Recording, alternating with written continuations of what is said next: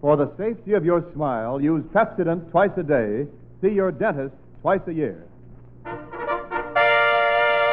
From the Hollywood Canteen, the Pepsodent Show, starring Bob Hope and his guest star, Bette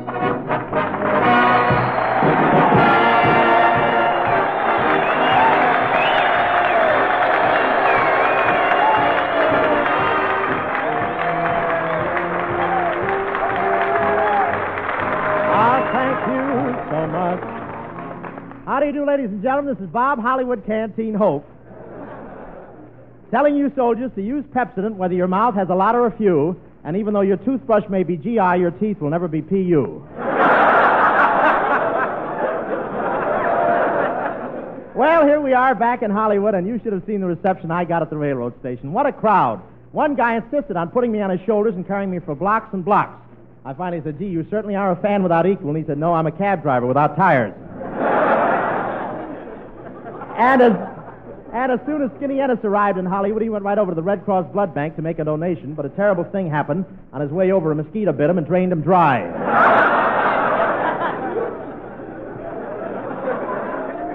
Everything has changed in Hollywood, though. It's all dimmed out down here along the coast, and you can't have any light shining toward the sky. In fact, in the drugstores, you have to play the pinball machines upside down. and they have a midget underneath to tell you what your score is. And they've certainly got an efficient way of moving the troops from one place to another down here. In San Francisco, they use trains. In Seattle, they use flying fortresses. Down here, they just send out a girl in slacks. But.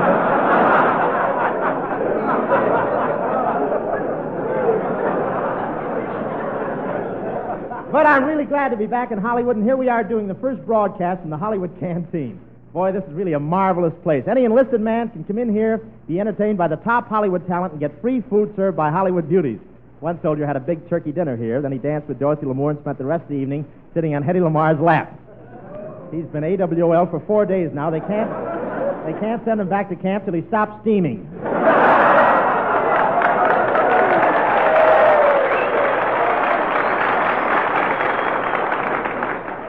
And it's so crowded that if a soldier wants to play the radio, he has to squeeze past Lana Turner, Hedy Lamarr, and Betty Grable just to put it on. In five minutes, I heard 148 different programs. But can you imagine all those beautiful hostesses and only servicemen are allowed? I know one guy who got dressed up in a uniform so he could get into the canteen, but they knew he was a fake because the uniform fitted him. so they threw me out. And the. Uh, And the soldiers, sailors, and Marines uh, all get along very well together here. I saw a soldier dancing with a blonde, and a sailor cut in on him. Then a Marine cut in on the sailor, and it was all done in an orderly military manner. In fact, the bodies were dragged off the floor in a column of three. One of the soldiers here danced with a fat girl the other night, and when he wanted to stop dancing, he didn't smile at her and say, Should we stop dancing, miss? He just stood at attention and shouted, Company, halt!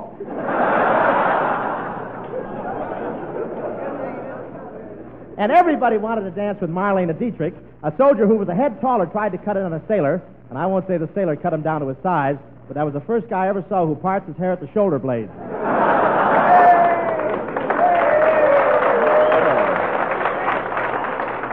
And I want to tell you, there's certainly a lot of strong soldiers hanging around the canteen here. I walked in with a blonde on one arm and a brunette on the other. Two minutes later, no blonde, no brunette, no arms. And Dorothy Lamour came down here to work last night, but she was almost had a disaster. She was standing in the kitchen in a sarong when a nearsighted soldier reached for a dish towel.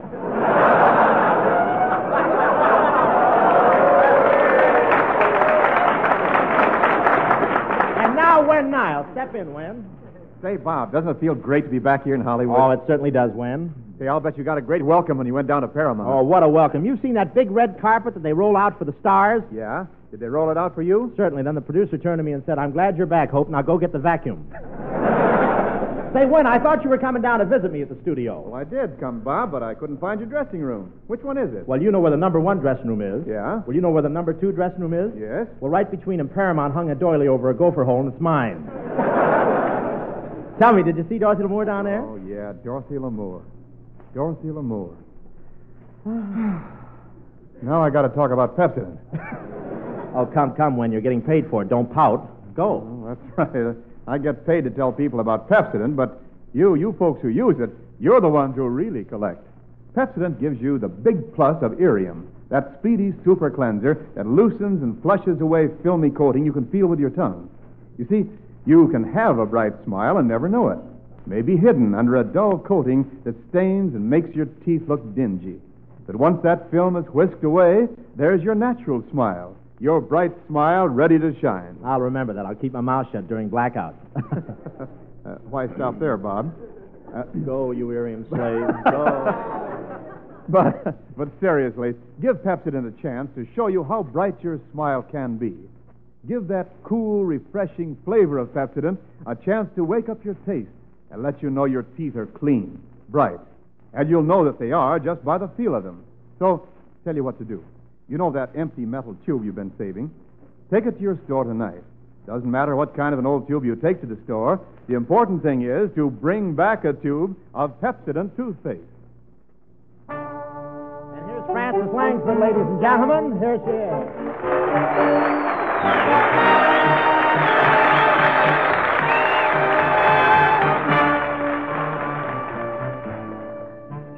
At last, along. My lonely days are over, and life is like a song. At last, the skies above are blue. My heart was wrapped in clover the night I looked at you.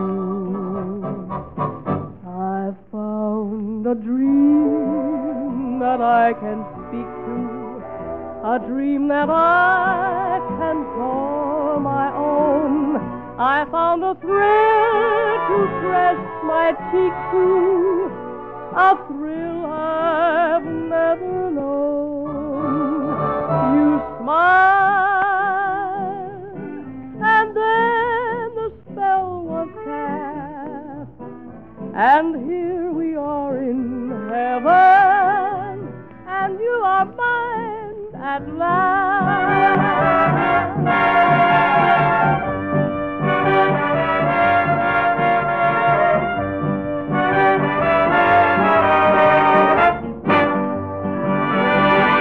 I found a dream that I can speak to, a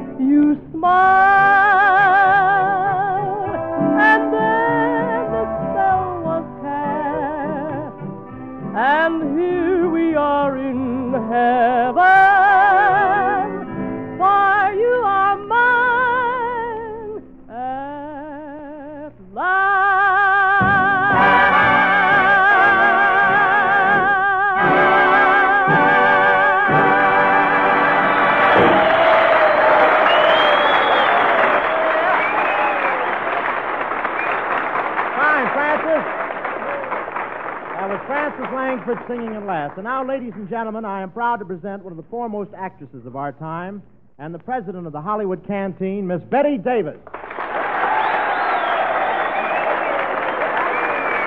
Thank you. Thank you, Bob. That was the most flattering introduction. Are you sure I deserve it? Well, you certainly do, Bette. You're all the things I said about you and more. Really, it's a pleasure to meet someone in my own class.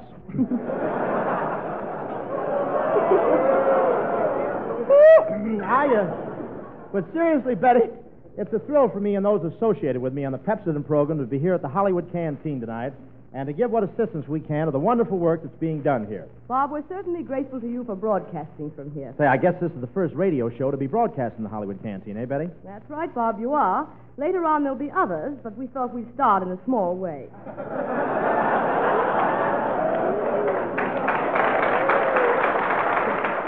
Now, wait a minute, wait a minute. I'm a big name. Yes, and I know what it is, but let's be friendly.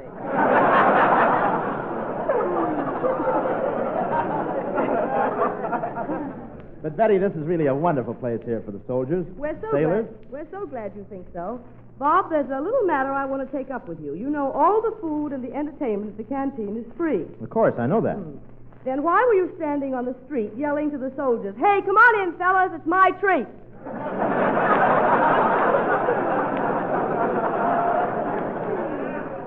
Well, I left the tips for all of them. and Pepsodent caps are hard to get now. But tell me. tell me, Bette, how did this Hollywood canteen get started? Well, actually, Bob, local number 47 of the Musicians Union had an idea to have a canteen fashioned after the American Theater Wing stage door canteen in New York. They invited all the other guilds and unions of the entertainment industry in Hollywood to join forces. They did, and we formed this organization called the Hollywood Canteen. Oh, it's swell. Now, I bet the enlisted men have a lot of fun here, Bette. They seem to, Bob. One soldier who spent the evening here last week came up to me when it was all over and said he'd had such a good time he wished he could take this whole place back to camp with him. Gee, that was certainly nice of him. Yes, the uh, MPs caught him half a block from here with nine pieces of silverware and Lana Turner. By the way, Bob, I understand you've been doing some wonderful work selling bonds. That's right, Bette. I've been offering to kiss every movie star who bought a $500 bond. That's wonderful. How many have you sold? One, and Boris Karloff wants his money back.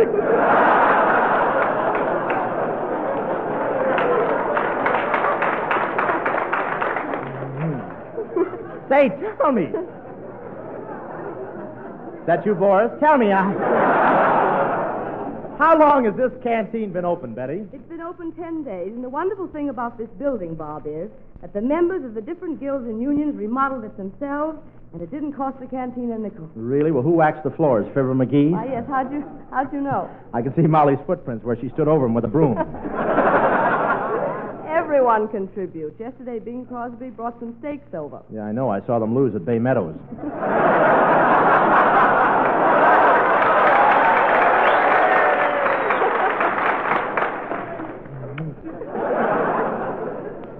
Tell me, does my old girlfriend Hedy Lamarr show up here much? Oh, yes, Bob, but I always thought your girlfriend was Madeleine Carroll. Oh, yes, she's one of the mob. But uh, you know.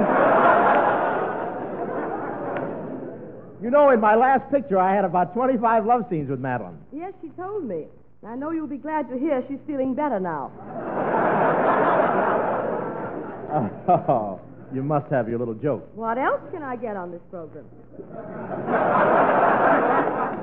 Step out from behind the net and you'll find out. But say, uh, how about going out with me tonight after the broadcast's over, Bette? Well, I'm afraid I'm too busy, Bob. You know, these are busy days for all girls. Yeah, you know, women are doing a million things nowadays. They're riveting, welding, taking care of gas stations. See, who knows, maybe someday one of them will learn how to cook.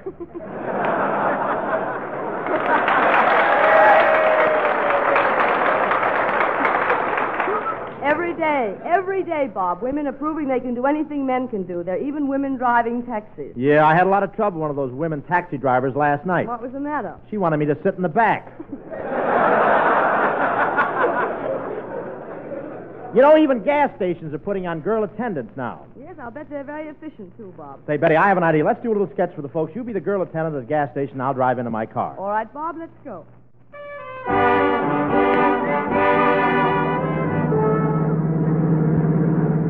My merry Oldsmobile with no tires on each wheel. Gee, I'm running out of gas. Gosh, am I lucky. There's a gas station over there. Oh, boy, I made it. There's nobody here. Service! Hey, a little service, please. What's your hurry, Beagle Nose? Come on, come on, fill her up. Hey, gee, you're a girl, huh? Well, shall I check your water? No, it's all right, even if I do drool a lot.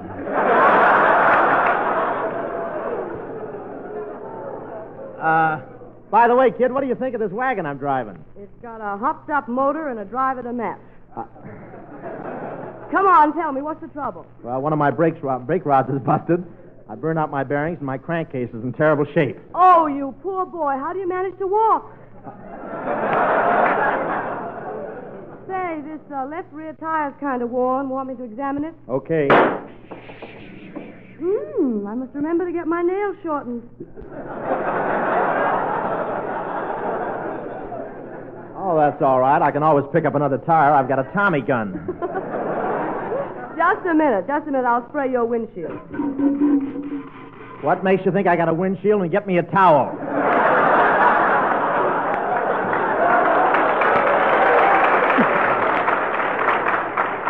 Say, you didn't drive very much last night, did you? How can you tell? Gas in the tank? No, compact on the seat. Well, how much gas do you want me to put in that flamethrower? Well, give me about uh, five gallons. Okay. I'm sorry, it'll only take three gallons. Three gallons, are you sure? Of course, just look, it's so full I can't get the radiator cap back on. Oh, brother, you're really fixing me up fine. Say, what happened to the guy that used to work here? You mean that guy with flat feet, fallen arches, asthma, rheumatism, and lumbago? Yeah? They drafted him as a commando.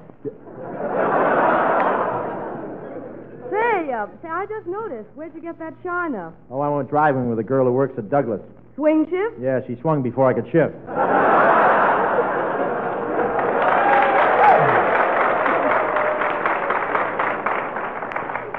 Thanks, Wolf. Say, uh, how about you going out with me tonight? Okay. I don't mind going out with a swell dresser like you. You sure know how to do a zoot suit, Justice. That's a swell zoot suit. Yeah, get a load of this jacket. It comes all the way down to my ankles. What's the good of that? I'm the only jitterbug in town who can go out dancing while he's having his pants pressed at the same time. well, I gotta leave now. Say, uh, how about a little kiss before I go? That's not part of the service. Besides, I don't kiss strange men. Wait a minute, I'm not strange. I'd hate to put it to a vote. Oh, oh, come on, just to show there's no hard feelings. Well, all right. I'll give you a real kiss. There. There. How was it? They're certainly freezing a lot of things these days.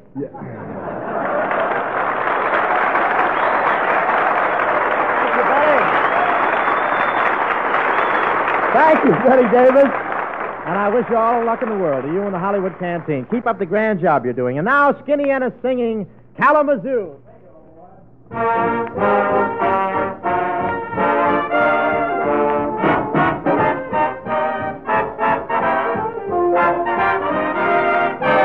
A, B, C, D, E, F, G, H. I got a gal in Kalamazoo.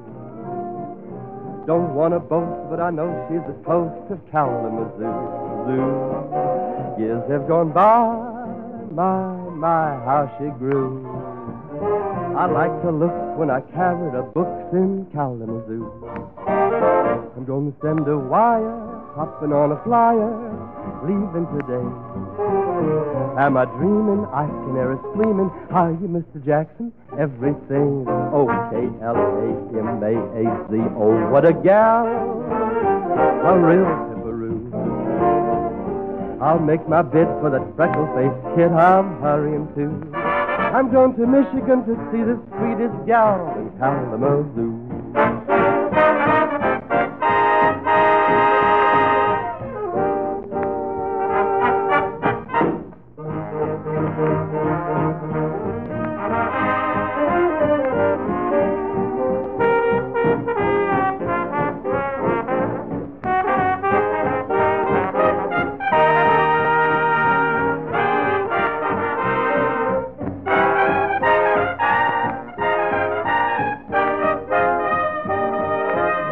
Got a wire, hopping on a flyer, leaving today. Am I dreaming? I can hear her screaming. Hi, Miss Jackson. Everything is okay. L A M A Z O O. What a gal! A real pipperoo. I'll make my bid for the freckle-faced kid I'm hurrying to. I'm going to Michigan to see the sweetest gal in Kalamazoo.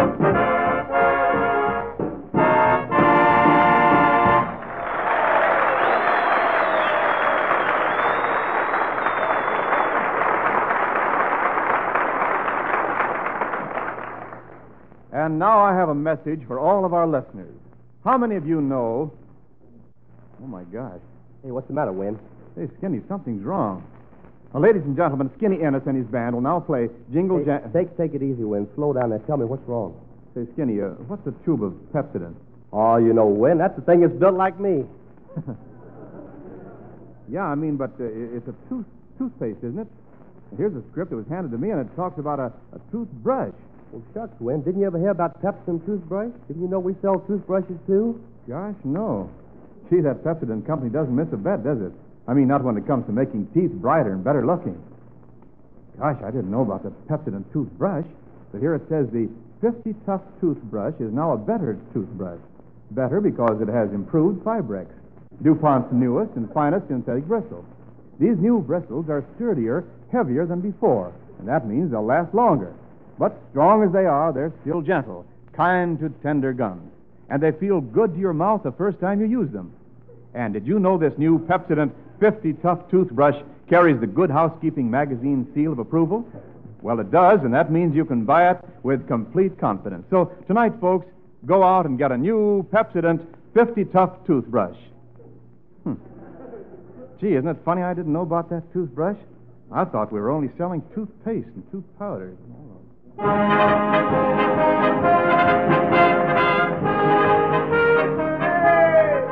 Once again, we want you to meet the Navy. Representing the servicemen here tonight at the Hollywood Canteen is Yeoman Wilbur Johnson reporting, sir. There you are. That's fine. How are you, Wilbur? Say, you just said you were a yeoman. What does that mean, a yeoman? Oh, it's about the same as a private in the Army, only their pants, they can bend over. Your pants do hug you, don't they, huh? Hug me, Bob. When I bend over, the stitches in the seam start singing my devotion. it sure ain't like those civilian clothes I used to wear back in Arkansas. Uh, yeah, you Arkansas, really? Well, say, now that you're out here, what do you think of the girls in California? Oh, I don't pay attention to 'em. I'm married. I got a wife in Little Rock. Really? Well, this is the first time I've ever seen a sailor with a ship in the Pacific and an anchor in Arkansas. well, uh, how long you been married, Wilbur? I got married a year ago. I suppose it was a whirlwind courtship. No, Bob. I went with my wife 12 years before I married her. Twelve years. Say, what department are you in in the Navy? Reconnaissance? Nope, intelligent. Just wait for my last before you throw your slingshot in there, old boy. Do you understand? Say. Don't say what last, or I'll fall over. Say, Wilbur, I hear you're a pretty good golfer. Well, I certainly like the game, Bob. I understand you play a lot with Bing Crosby. Not anymore. Boy, would you play with a guy who waits till nobody's looking, then picks his ball up and throws it toward the hole? Of course not. Neither will Crosby.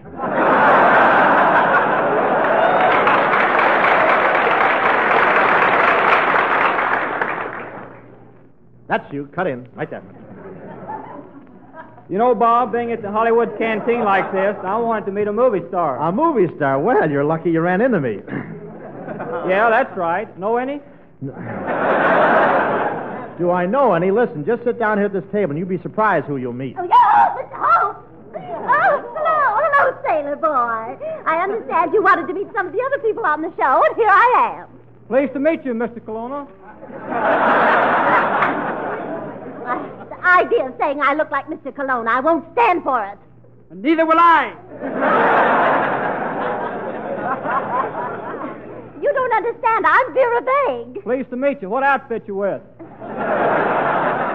Mr. Holt, what's the name of this handsome hunk? Why, Miss Vague, this is Will Johnson, yeoman, third class. Oh, listen, brother, he's a man. As far as I'm concerned, that makes him first class.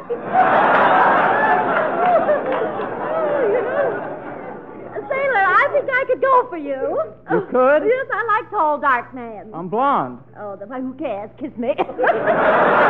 Oh, I couldn't. You're old enough to be my mother.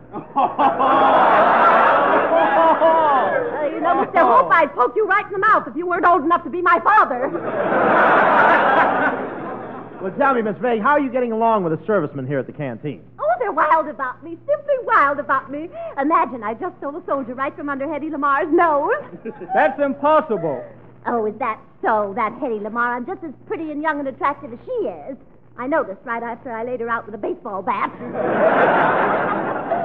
Gee, I'd like to meet that Hedy Lamarr. Well, you know, Wilbur, all the big movie stars wait on the tables here at the canteen. I wonder who we'll get. Boy, last night Lana Turner waited on me. She came over to the table and kissed me. The night before that, Carole Landis waited on me and kissed me. Well, here goes. Waiter! Mustache tickles, doesn't it?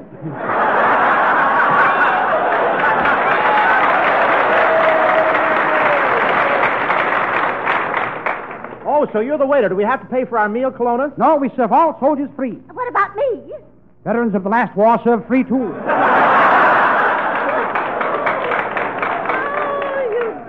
Man. How I'd like to get in your mustache with an egg beater. Now, look, waiter, what's wrong with this chicken soup? There's more water in it than chicken. Ah, yes. Hen was crying. Chicks got drafted.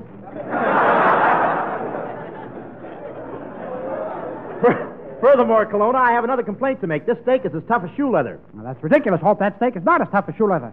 It's soft and tender and, well, maybe it is as tough as shoe leather. Colonna, how come you suddenly changed your mind and agreed with me? Well, I just looked down and I'm barefoot. Now, uh, what do you have? Oh, uh, Professor, I don't know what to order. What would you suggest to keep my figure trim? Meat cleaver. well, I'll go back in the kitchen and get your order. All right, and hurry it up, Colonna. Oh, look, Wilbur, here comes Skinny Ennis. Hiya, Skin. Hello, Bob. Skinny, I want you to meet Wilbur Johnson, yeoman, third class. Wilbur, this is Skinny Ennis, human, fourth class. Hi, Hiya, Muscles. Boy, you should see these two guys standing side by side, folks. They look like a couple of strands of spaghetti in search of a meatball. Well, shake hands, Bob. We found one.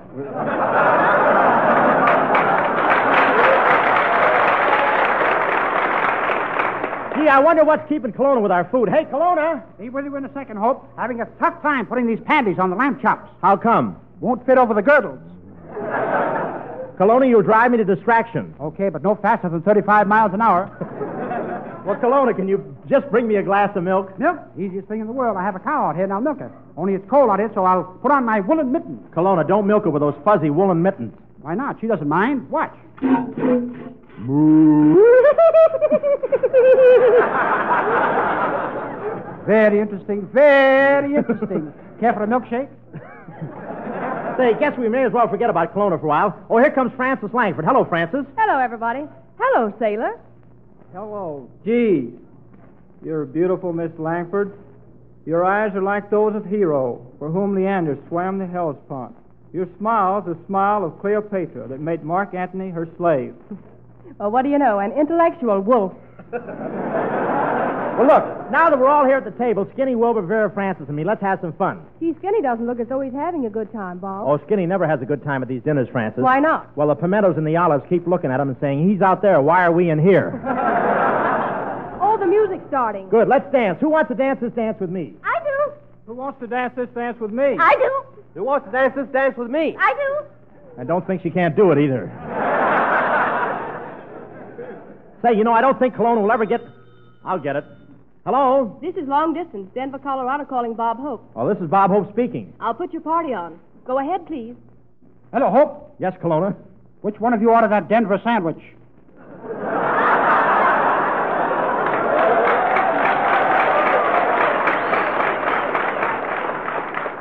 Why, Colonna, you wouldn't be so stupid as to go to Denver for a Denver sandwich. Why, of course not. That would be silly. Well, where are you? In Bermuda, getting the onions.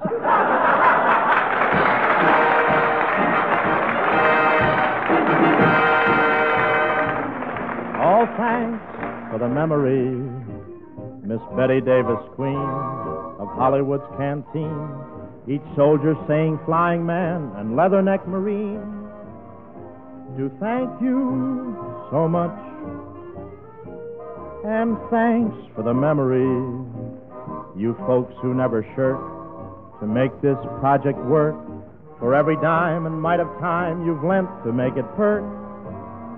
We thank you so much. Well, we've all had a great time tonight broadcasting here from the Hollywood Canteen, and really it's great seeing these boys of the service enjoying a little of the fun they deserve. Next week we'll be back at the same time broadcasting for the boys down at Camp Elliott in San Diego. Good night, everybody, and greetings to the boys at the Harlingen Aerial Gunner School down there in the lower Rio Grande Valley, listening tonight over KRGV. Good night, everybody.